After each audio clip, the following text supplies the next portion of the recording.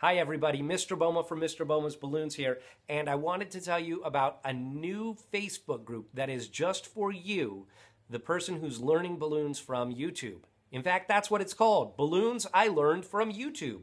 So it's a group where you can post pictures of the designs that you've learned from YouTube, and the people who are posting the tutorials are members of the group on Facebook. And so uh, you tag us when you post the photo, and we can see it. We can give you feedback on it.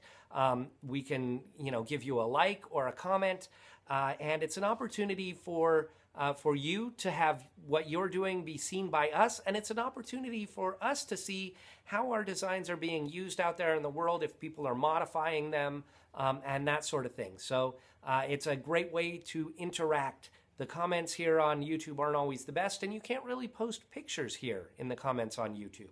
So join us at Balloons I Learned from YouTube. Um, just one word of warning though, if you don't have any balloon photos on your profile on Facebook, um, then you're not going to be let into the group. We have to make sure that it's actually balloon people who are joining the group and not spammers or, um, or just fans. You know, we want actual balloon people in the group. Uh, so I hope to see you there. Bye bye.